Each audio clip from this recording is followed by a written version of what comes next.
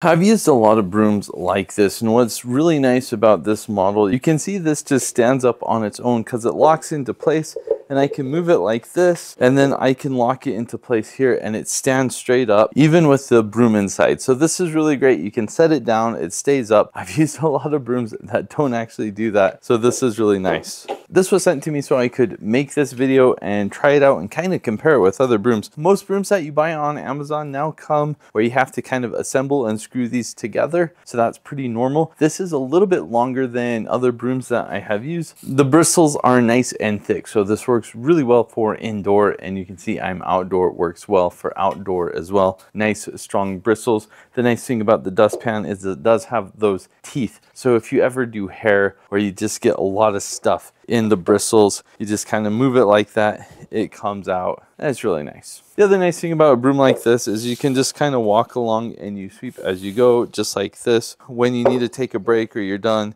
you just set it up and you don't have to worry about things coming out or coming undone. And when you're ready to start again, you can just move it down and you can start again, set the dustpan down. I really like this broom. I do have one complaint with it, and that is that these bristles, they kind of angle out like this and like this, which is really great for when you're sweeping. And I appreciate that. But when you try to put the broom in the dustpan for storage, the bristles come on the outside. I don't know if you can see that, but the bristles come on the outside. It makes it hard to store. So that's the only room for improvement I see with this broom. It's a really nice broom, definitely worth checking out. Thanks for watching.